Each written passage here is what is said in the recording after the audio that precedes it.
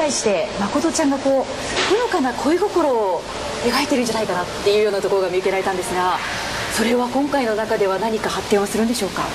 言っちゃっていいのかな？いいの？ああのー、結婚したんですよ。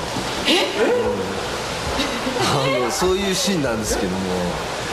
そうなんですか、うん、それがどういう年の差なんてクイズ年の差なんて。はい。ま あなんて冗談で場を盛り上げる